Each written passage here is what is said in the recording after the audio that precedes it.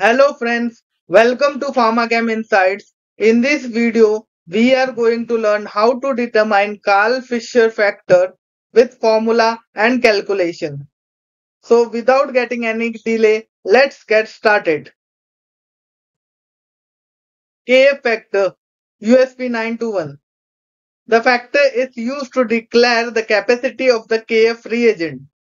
This is a measure of water equivalent for each ml of the KF reagent.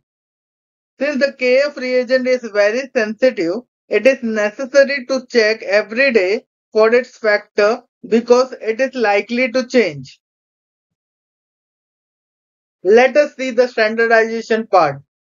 So reagents required for KF factor is KF reagent, dried methanol, disodium tartrate dihydrate DST, drying agents example molecular sieves or silica gel if necessary, disodium tartrate dihydrate is used for the standardization of KF reagent. You can also use purified water for standardization of KF reagent. Disodium tartrate dihydrate DST has a constant water content of 15.66 percent. Molecular formula of DST is Na2C4H4O6 into 2S2O. Molecular weight is 23 into 2 plus 12 into 4 plus 4 into 1 plus 6 into 16 plus 2 into 18 is equal to 230. The molecular weight of DST is 230. DST has two molecules of water that is 2 into 18 is equal to 36. So calculation is percentage water in DST is 36 divided by 230 into 100 is equal to 15.66 percentage. Now let's move on to procedure part. Fill the KF titration vessel with dried methanol so that the active part of the electrode dips well. Approximately 40 to 50 ml of methanol is sufficient. Condition the titration vessel with the KF reagent to ensure no residual moisture is present. Now weigh approximately 150 mg of DST on an analytical balance. Carefully transfer the weighed DST to the titration vessel. Start the titration process immediately after transferring DST to avoid moisture absorption from the atmosphere. The titration will proceed until the endpoint is reached.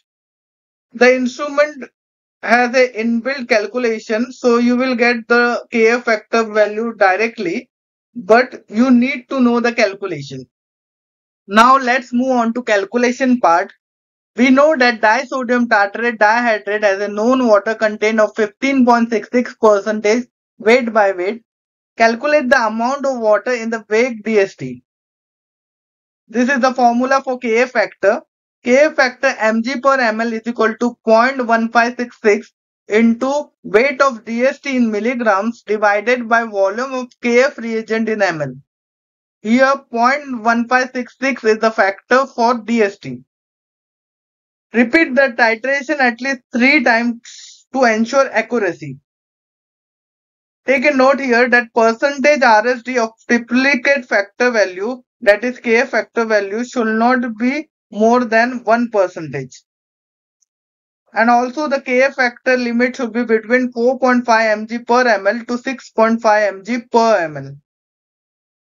Now let us understand with the help of the example how to determine the KF factor.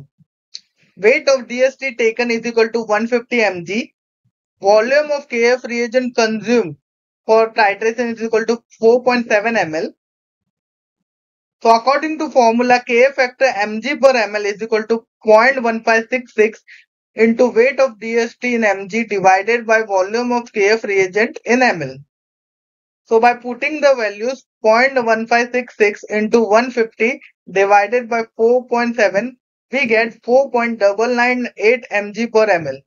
So Kf factor is equal to 4.998 mg per ml. Means each ml of Kf reagent will utilize 4.998 mg of water.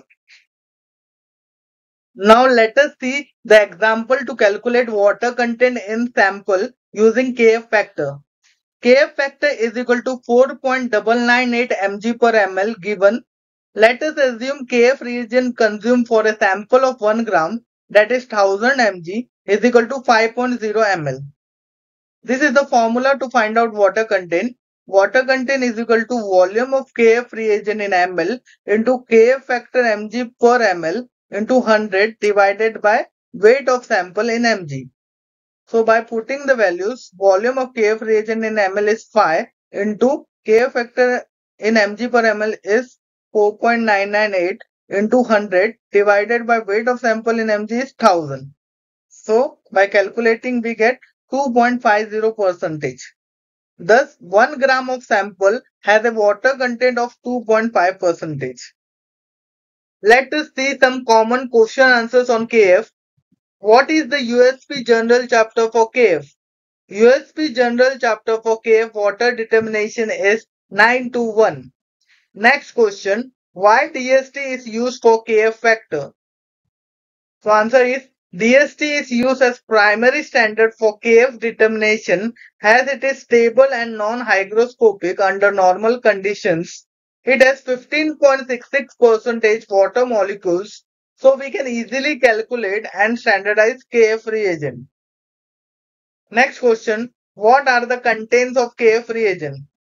The content of KF reagents are sulfur dioxide, iodine, pyridine or imidazole and methanol. Previously, pyridine is used for preparation of KF reagent, but later it was found that it is carcinogenic, it is toxic to humans. So, Pyridine is replaced by imidazole as a base. I hope you like this video. Thank you. Please like, share and subscribe my videos and also show your support in the comment section. Bye.